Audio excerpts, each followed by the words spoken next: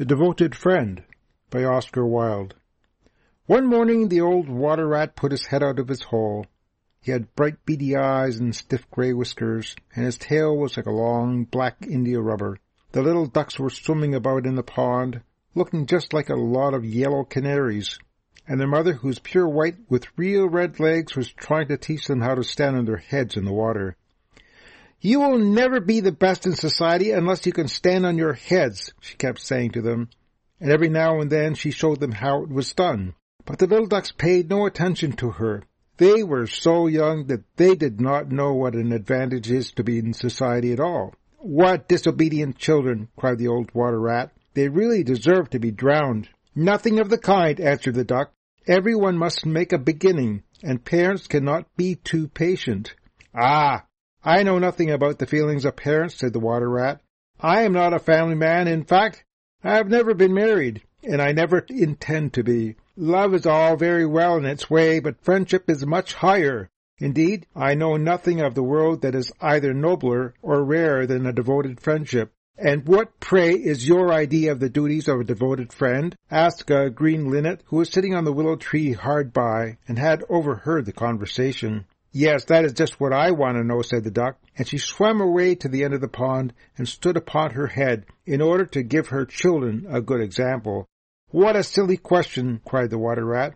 I should expect my devoted friend to be devoted to me, of course. And what would you do in return? said the little bird, swinging upon a silver spray and flapping his tiny wings. I don't understand you, answered the water rat. Let me tell you a story on the subject, said the linnet. Is a story about me? asked the water rat. If so, I will listen to it, for I am extremely fond of fiction. It is applicable to you, answered the linnet, and he flew down, and alighting upon the bank, he told the story of the devoted friend. Once upon a time, said the linnet, there was an honest little fellow named Hans. Was he very distinguished? asked the water rat. No, answered the linnet. I don't think he was distinguished at all except for his kind heart and his funny round of good-humored face. He lived in a tiny cottage all by himself, and every day he worked in his garden. In all the countryside there was no garden so lovely as his. Sweet William grew there, and gilly flowers, and shepherd's purses, and fairy maids of France. There were damask roses and yellow roses, lilac crocuses and gold, purple violets and white, columbine and lady smock, marjoram and wild basil, the cowslip and the flower de luce, the daffodil and the clove pink bloomed or blossomed in their proper order as the months went by, one flower taking another flower's place, so that there were always beautiful things to look at and pleasant odors to smell. Little Hans had a great many friends, but the most devoted friend of all was Big Hugh the miller, Indeed, so devoted was the rich miller to little Hans that he, Hans, would never go by his garden without leaning over the wall and plucking a large nosegay or a handful of sweet herbs, or filling his pockets with plums or cherries, if it was the fruit season. Real friends should have everything in common, the miller used to say, and little Hans nodded and smiled, and felt very proud of having a friend with such noble ideas. Sometimes, indeed, the neighbors thought it was strange that the rich miller never gave little Hans anything in return, though he had a hundred sacks of flour stored away in his mill, and six milk cows, and a large stock of woolly sheep. But Hans never troubled his head about these things, and nothing gave him greater pleasure than to listen to all the wonderful things the miller used to say about the unselfishness of true friendship. So little Hans worked away in his garden. During the spring, the summer, and the autumn, he was very happy. But when the winter came, he had no fruit or flowers to bring to the market. He suffered a great deal from the cold and hunger, and often had to go to bed without any supper but a few dried pears or some hard nuts in the winter. In the winter also he was extremely lonely, as the miller never came to see him then. There is no good in my going to see little Hans as long as the snow lasts, the miller used to say to his wife, for when people are in trouble they should be left alone, and not be bothered by visitors. That at least is my idea about friendship, and I am sure I am right. So I shall wait till the spring comes, and then I shall pay him a visit, and he will be able to give me a large basket of primroses, and that will make him so happy. You are certainly very thoughtful about others, answered the wife, as she sat in her comfortable armchair by the big pine wood fire. Very thoughtful indeed. It is quite a treat to hear you talk about friendship. I am sure the clergyman himself could not say such beautiful things as you do, though he does live in a three-storied house and wears a gold ring on his little finger. But could we not ask little Hans up here? said the miller's youngest son. If poor Hans is in trouble, I will give him half my porridge and show him my white rabbits. What a silly boy you are, cried the miller. I really don't know what is the use of sending you to school. You seem not to learn anything. Why, if little Hans came up here and saw our warm fire and our good supper, and our great cask of red wine, he might get envious, and envy is the most terrible thing, and would spoil anyone's nature. I certainly would not allow Hans' nature to be spoiled. I am his best friend, and I will always watch over him, and see that he is not led into any temptations.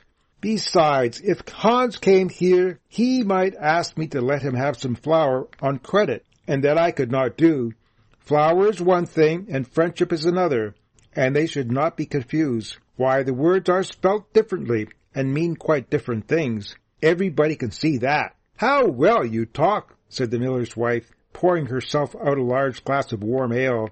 Really, I feel quite drowsy. It's just like being in church. Lots of people act well, answered the miller, but very few people talk well which shows that talking is much more difficult of the two, and much the finer thing also. And he looked sternly across the table at his little son, who felt so ashamed of himself that he hung his head down and grew quite scarlet and began to cry into his tea. However, he was so young that you must excuse him. Is that the end of the story? asked the water rat. Oh, certainly not, answered the linnet. That is the beginning. Then you are quite behind the age, said the water rat. Every good storyteller nowadays starts with the end, and then goes on to the beginning and concludes with the middle. That is a new method. I heard about it the other day from a critic who was walking around the pond with a young man. He spoke of the matter at great length, and I am sure he must be right, for he had blue spectacles and a bald head, and whenever the young man made any remark, he always answered, Pooh! But pray go on with your story. I like the miller immensely. I have all kinds of beautiful sentiments myself, so there is a great sympathy between us. Well, said the linnet, hopping now on one leg and now on the other, as soon as the winter was over and the primroses began to open their pale yellow stars, the miller said to his wife that he would go down and see little Hans. Why, what a good heart you have, cried his wife. You are always thinking of others, and mind you take the big basket with you for the flowers. So the miller tied the sails of the windmill together with his strong iron chain and went down the hill with the basket on his arm. Good morning, little Hans, said the miller. Good morning, said Hans, leaning on his spade and smiling from ear to ear. And how have you been all winter? said the miller. Well, really, cried Hans, it is very good of you to ask. Very good indeed. I am afraid I had a very hard time of it, but now the spring has come, and I am quite happy, and all my flowers are doing well. We often talked of you during the winter, Hans, said the miller, and wondered how you were getting on. That was kind of you, said Hans. I was half afraid you had forgotten me. Hans, I am surprised at you, said the miller. Friendship never forgets. That is the wonderful thing about it. But I am afraid you don't understand the poetry of life. How lovely your primroses are looking by the by. They are certainly very lovely, said Hans. It is a most lucky thing for me that I have so many. I am going to bring them to the market and sell them to the burgomaster's daughter, and buy back my wheelbarrow with the money. Buy back your wheelbarrow? You don't mean to say you have sold it? What a very stupid thing to do! Well, the fact is, said Hans, I was obliged to. You see, the winter was very bad time for me, and I really had no money at all to buy bread with. So I first sold the silver buttons off my Sunday coat, and then I sold my silver chain, and then I sold my big pipe, and at last I sold my wheelbarrow. But I'm going to buy them all back again now. Hans, said the miller, I will give you my wheelbarrow. It is not in very good repair. Indeed, one side is gone, and there is something wrong with the wheel spokes, but in spite of that, I will give it to you. I know it is very generous of me, and very many people would think me extremely foolish for parting with it, but I am not like the rest of the world. I think that generosity is the essence of friendship, and besides, I have got a new wheelbarrow for myself. Yes, you may set your mind at ease. I will give you my wheelbarrow. Well, really, that is very generous of you, said little Hans, and his funny round face glowed all over with pleasure. I can easily put it in repair, as I have a plank of wood in the house. A plank of wood? said the miller. Why, that is just what I want for the roof of my barn. There is a very large hole in it, and the corn will get all damp if I don't stop it up. How lucky you mentioned it. It is quite remarkable that how one good action always breeds another. I have given you my wheelbarrow, and now you are going to give me your plank. Of course, the wheelbarrow is worth far more than the plank, but true friendship never notices things like that. Pray, get it at once, and I will set to work at my barn this very day. Certainly, cried little Hans, and he ran to the shed and dragged that plank out.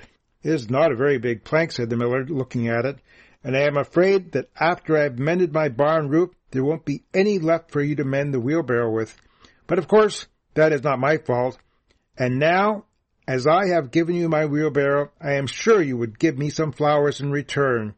Here is a basket, and mind you fill it quite full. Quite full, said little Hans, rather sorrowfully, for it was really a big basket, and he knew that if he filled it, he would have no flowers left for the market, and he was very anxious to get his silver buttons back. Well, really, answered the miller, as I have given you my wheelbarrow, I don't think it is much to ask for a few flowers. I may be wrong, but I should have thought that friendship, true friendship, was quite free from selfishness of any kind.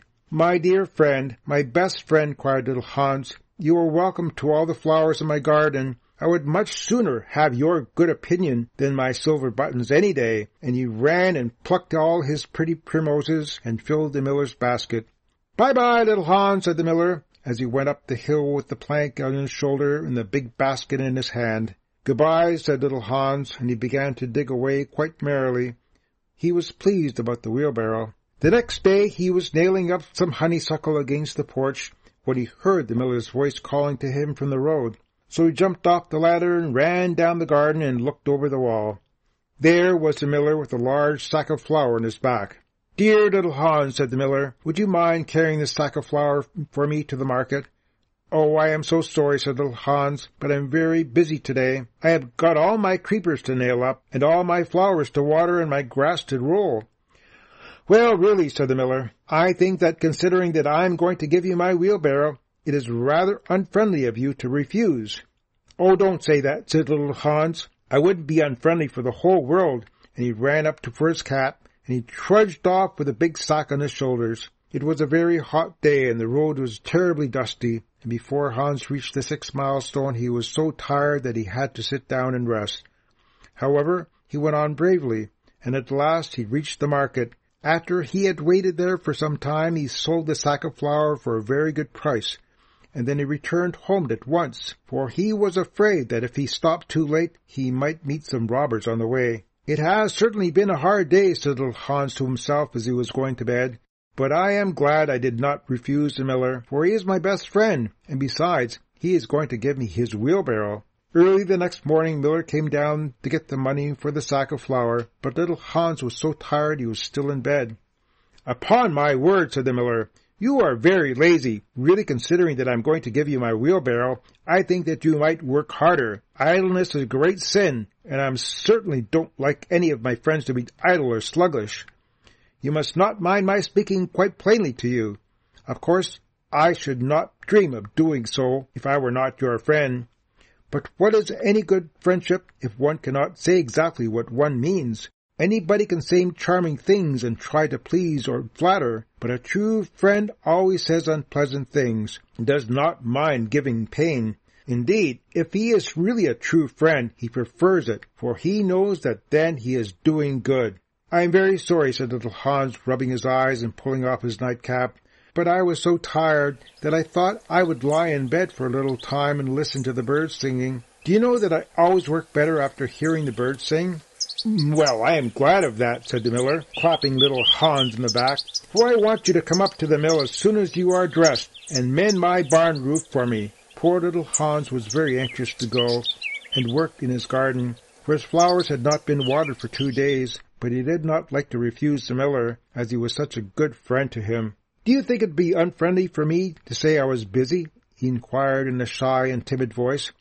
Well, really, answered the miller, I do not think it is much to ask of you, considering that I am going to give you my wheelbarrow. But of course, if you refuse, I will go and do it myself. oh, on no account, cried little Hans, and he jumped out of bed and dressed himself and went up to the barn. He worked there all day long till sunset, and at sunset the miller came to see how he was getting on. Have you mended my hole in my roof yet, little Hans? cried the miller in a cheery voice. It is quite mended, answered the little Hans, coming down the ladder. Ah, said the miller, there is no work so delightful as the work one does for others. It is certainly a great privilege to hear you talk, answered little Hans, sitting down and wiping his forehead. A very good privilege. But I am afraid I shall never have such beautiful ideas as you have. Oh, they will come to you, said the miller. But you must take more pains. At present, you have only to practice friendship. Some day you will have the theory also. Do you think I shall? asked little Hans. I have no doubt of it, answered the miller, but now that you have mended the roof, you had better go home and rest, for I want you to drive my sheep to the mountain tomorrow. Poor little Hans was afraid to say anything to this, and early the next morning the miller brought his sheep round to the cottage, and Hans started off with them to the mountain. It took him the whole day to get there and back, and when he returned he was so tired that he went off to sleep in his chair, did not wake up until the broad daylight. What a beautiful time I shall have in my garden, he said, and he went to work at once. But somehow he was never able to look after his flowers at all, for his friend the miller was always coming round and sending him on long errands, or getting him to help at the mill. Little Hans was very much distressed at times, as he was afraid his flowers would think he had forgotten them. But he consoled himself by reflection that the miller was his best friend. Besides, he used to say, he is going to give me his wheelbarrow, and that is an act of pure generosity. So little Hans worked away for the miller, and the miller said all kinds of beautiful things about friendship, which Hans took down in a notebook and used to read over at night, for he was a very good scholar. Now it happened that one evening little Hans was sitting by his fireside when a loud rap came at the door. It was a very wild night, and the wind was blowing and roaring around the house so terribly that at first he thought it was merely the storm. But a second rap came, and then a third, louder than either of the others. It is some poor traveler, said little Hans to himself, and then he ran to the door. There stood the miller with a lantern in one hand and a big stick in the other. Dear little Hans, cried the miller, I am in great trouble. My little boy has fallen off the ladder and hurt himself, and am going for the doctor. But he lives so far away and is such a bad night that it has just occurred to me that it would be much better if you went instead of me. You know I am going to give you my wheelbarrow, and so it is only fair that you should do something for me in return. Certainly, cried little Hans. I take it quite as a compliment of your coming to me, and I will start off at once but you must lend me your lantern, as the night is so dark that I am afraid I might fall into a ditch. I am very sorry, answered the miller, but it is my new lantern, and it would be a great loss to me if anything happened to it. Well, never mind, I will do without, cried the little Hans, and he took down his great fur coat and his warm scarlet cap, and he tied a muffler round his throat and started off. What a dreadful storm it was! The night was so black that little Hans could hardly see, and the wind was so strong that he could scarcely stand. However, he was very courageous, and after he had been walking about three hours, he arrived at the doctor's house and knocked at the door. Who is there? cried the doctor, putting on his head out of his bedroom window. Little Hans, doctor. What do you want, little Hans? The miller's son has fallen off the ladder and he has hurt himself. The miller wants you to come at once. All right, said the doctor, and he ordered his horse and his big boots and his big lantern and came downstairs and rode off in the direction of the miller's house, little Hans trudging behind him. But the storm grew worse and worse, and the rain fell in torrents, and little Hans could not see where he was going, or keep up with the horse. At last he lost his way and wandered off on the moor, which was a very dangerous place, as was full of deep holes, and there poor little Hans was drowned. His body was found the next day by some goat herds floating in a great pool of water, and was brought back by them to the cottage. Everybody went to the little Hans funeral as he was so popular, and the miller was the chief mourner. As I who was his best friend, said the miller, it is only fair that I should have the best place. So he walked at the head of the procession in a long black cloak, and every now and then he wiped his eyes with a big pocket handkerchief. Little Hans is certainly a great loss to everyone, said the blacksmith when the funeral was over, and they were all seated comfortably in the inn, drinking spiced wine and eating sweet cakes. A great loss to me at any rate, answered the miller. Why, I had as good as given him my wheelbarrow, and now I really don't know what to do with it. It is very much in my way at home, and it is in such bad repair I could not get anything for it if I sold it. I will certainly take care not to give anything away again. One always suffers for being generous. Well, said the water rat after a long pause. Well, is that the end? said the linnet. But what came of the miller? asked the water rat. Oh, I really don't know, replied the linnet, and I am sure that I don't care. It is quite evident, then, that you have no sympathy in your nature, said the water rat. I'm afraid you don't quite see the moral of the story, remarked the linnet. The what? screamed the water rat. The moral. Do you mean to say the story has a moral?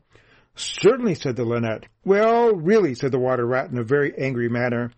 I think you should have told me that before you began. If you had done so, I would have not listened to you at all. In fact, I should have said pooh, like the critic. However, I can say it now. So he shouted out pooh at the top of his voice, gave a whisk with his tail, and went back into his hole. And how do you like the water rat? said the duck, who came paddling up in a few minutes afterwards. He has a great many good points, but for my part I have a mother's feelings, and I can never look at a confirmed bachelor without the tears coming into my eyes. I am rather afraid that I have annoyed him, answered the linnet. The fact is that I have told him a story with a moral. Ah, that is always a very dangerous thing to do, said the duck. And I quite agree with her.